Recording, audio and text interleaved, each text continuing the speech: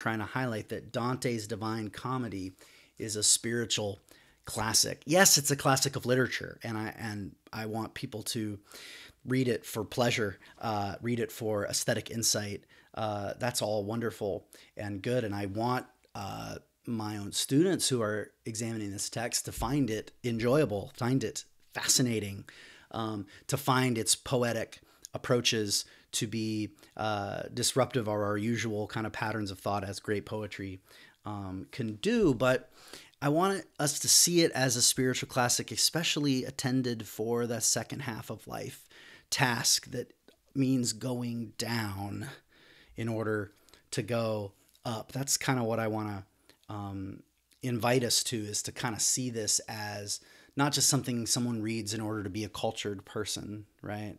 But something that we would read as a guide, as something to help us in midway through our journey of life um, to find guidance um, in our own uh, journeys of learning. So, the few little comments I want to make, I have three main comments. The first has to do with the threefold structure of the whole Divine Comedy. So it's broke down in these three sections the Inferno, um, the Purgatorio, and Paradiso, right? And the first will be the going down into the depths of hell, you know, deep, deep, deeper, circling down. And then passing through the earth and coming out on the other side. Notice this is the Middle Ages, and they didn't think the world was flat. They thought it was round. Anyway, uh, going through the sphere, coming out the other side, going then up the mountain of purgatory is the second book, right? Go, which goes through the the, the seven uh, great vices.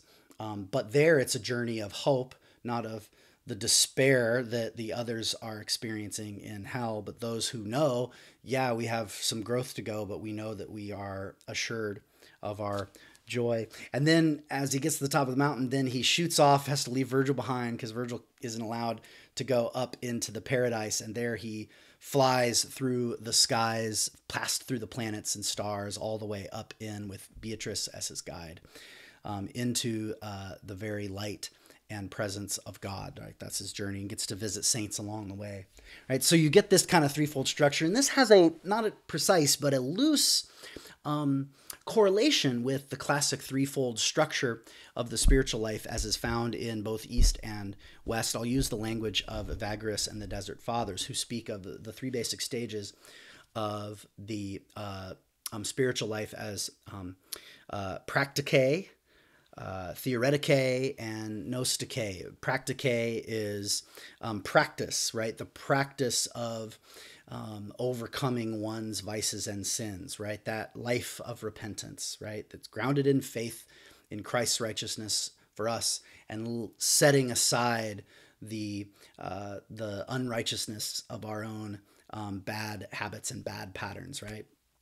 And then that second stage, theoretike, is um, then the illumination. This is called the illuminative way in the in the in the west in the West in Latin.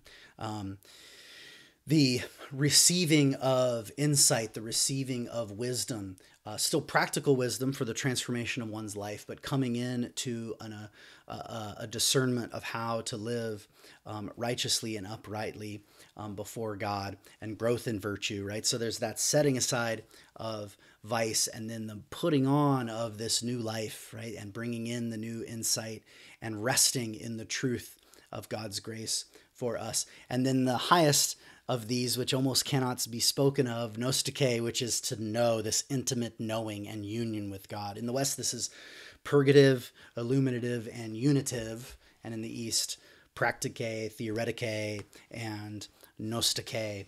Um, so this is this journey into perfection, this journey into absolute union with God. And there's again not exact, but a loose correlation you can see with these three parts of the divine comedy, right? The the journey down into hell is this journey down where he comes, Dante the pilgrim comes to a self-awareness of himself and of his own sinfulness, right? It's an awakening, right?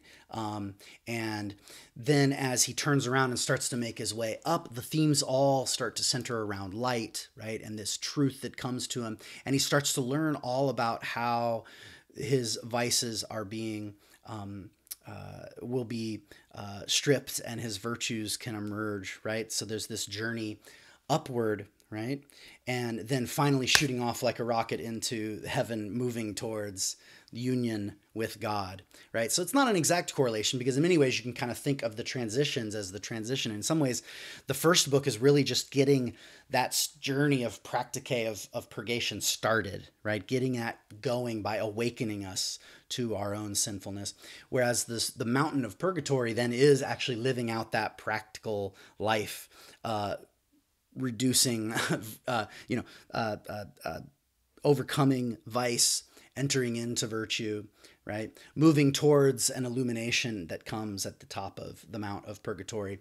And then the whole movement, in many ways, the last, you know, tercet or last at most uh, chapter of the Divine Comedy is the the Gnostike, the union with God, which he himself isn't even experiencing. He's kind of just getting a tour of what it could possibly be. It's very um, has the kind of uh, indirect uh, signaling that good poetry always has. But you can kind of see this journey, right? And the biggest lesson I want us to learn for those of us, those of you who are um, listening to this for the Doctorate of Ministry in Spiritual Formation, we have this three year journey, and Dante is going to be one, not our only, but one of our guides through this three year journey of coursework and the project after that. And we're I've assigned the Inferno this year with a view to then assigning Purgatorio next year and the uh, Paradiso in the third year. Now you're free to read ahead, um, but I didn't want to overwhelm you with the whole Divine Comedy this uh, spring semester, so we're spreading it out. Um, with an eye to even thinking of this journey for us, this initial journey of self awareness to what the great need we have for God's transforming grace. And then we'll move forward into what it means to live into that and how, and then begin to explore where things might be headed even beyond our um, hopes and imaginations. So that's kind of that three stage process. So uh, I said I had three points. So that's the first big one. The short one is this middle one, which is just to reiterate um, why how Dante fits in as a self awareness text. For me, Dante became a spiritual classic and ceased to just be a literary classic. Again, those are not mutually exclusive, but I'm talking about emphasis here. Um, when I stopped seeing it as this kind of text out there, this classic of our history that might be interesting or fascinating, or I might argue with his views, that kind of thing.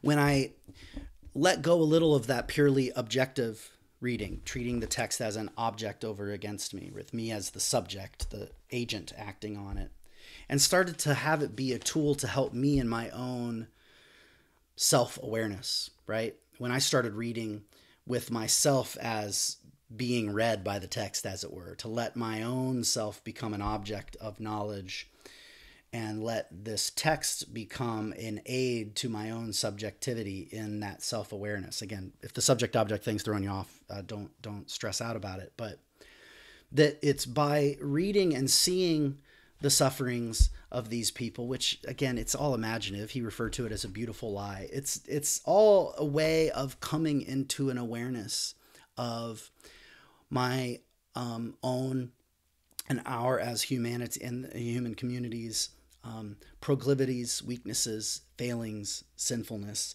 right? To come to an awareness of those, not in order to um, punish myself, um, or even to have an excess of pity. You'll notice Virgil keeps nudging Dante along.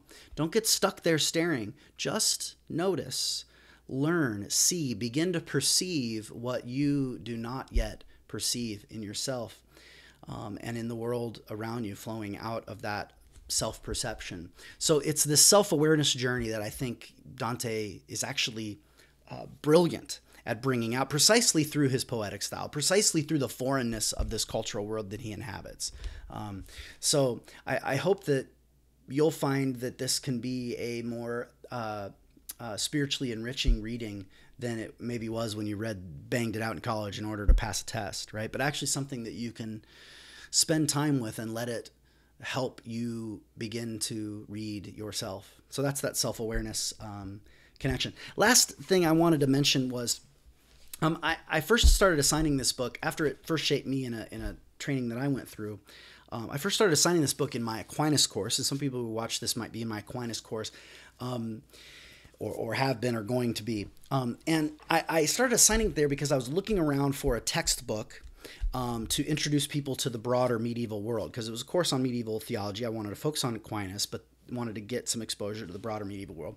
And all the textbooks I was reading just, I don't know, I hate to say it, but they were a little dry. And I was a little bit worried, not just for the pleasure of my students, but the actual insight because, you know, just a dry textbook um, if it doesn't draw us in, won't always guide us in the way that great literature can. And it occurred to me that actually, you know, maybe the best tour of the medieval world is a medieval writer's tour of the underworld and, and beyond um, into the uh, um, purgatory and paradiso. So his tour of this world, but as this great medieval writer and thinker, you end up bumping into all the key themes and issues and topics and hot topics of the day in the medieval world. So I actually found it to be a really great way of entering in. And, and for those in the DMin program, um, we're reading uh, predominantly Catholic, Roman Catholic authors, some Eastern Orthodox as well, lots of medieval materials.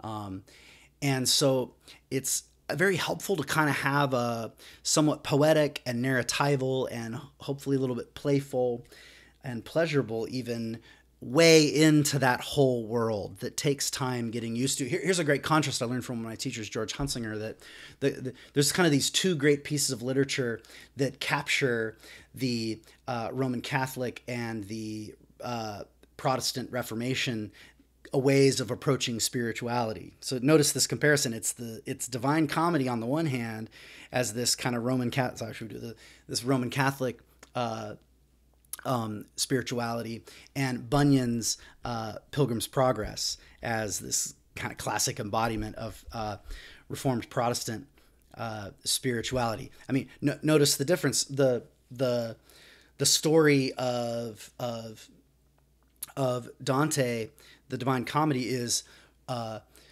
higher and higher, more and more growth, right? Growth in grace, right? Growing away from vice into virtue, getting closer and closer and closer, right? It's this movement. It's very hierarchical, as it were, right? Um, higher and higher, more and more. Whereas Bunyan's story is a story of again and again, again and again. You, will you'll, you'll keep encountering levels where certain sins are worse than others, and certain uh, uh, uh, vices are, you know, uh, less worrisome than others, and certain virtues are more important than others, and then the higher and greater uh, graces and virtues that you'll see as you move. You know, it's always moving up, right? This the, there's this leveling, this hierarchy, whereas this is this total.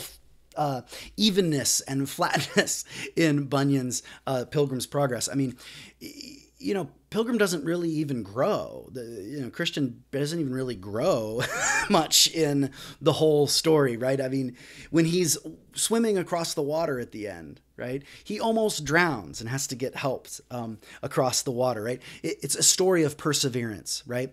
It, it's almost as if the the Dante presents this Catholic spirituality of space, of um, a hierarchy, of a cathedral, as it were, of higher and relations, these organic connections in a grand hierarchy, and this Protestant picture that you get in Bunyan of perseverance of the saints over time, right? It's extended over time, but really all that passes is time. It's not like Christian is like particularly a better Christian at the end than he is earlier. Once he's converted, he's in, and it's a matter of being faithful throughout time in his life, right? So he's still struggling all the way to the end, but still makes it. Hooray, right? And you, you even get the same thing where he's in the the the the, the prison towards the end, and he doesn't know what to do and it's not like he's learned how to get out of prisons he just remembers ah i have the key right here right and it's like the grace is always there all you have to do is have that faith and keep coming back to it. I think both of these are beautiful pictures because they're both true. It's both true that we grow more and more in grace, but it's also true that we just like, come again and again back to the same grace we started with. I think they're both true, and I think it's helpful to learn both of these lessons. Um, but since most of the writers we uh, uh, are going to be encountering in the historical theology of spiritual formation courses, um, if you're in the DMin, but for anyone who's listening along to this, a lot of the great spiritual literature is in that framework of more and more. You know, Protestant literature too that is leans in that way. Wesley's a little bit more in that frame, although he's still has that Bunyan side to him too, right? So lots of people in this tradition that we're going to be reading, and you have to have that framework in mind. And Dante's a great way to kind of imagine one ways in, imagine one's way into that world right? By way of this much more inclusive story that draws on all these different traditions versus the more biblicist approach that you find in Protestant spirituality. What's the Bible what's the Bible verses attached to that idea?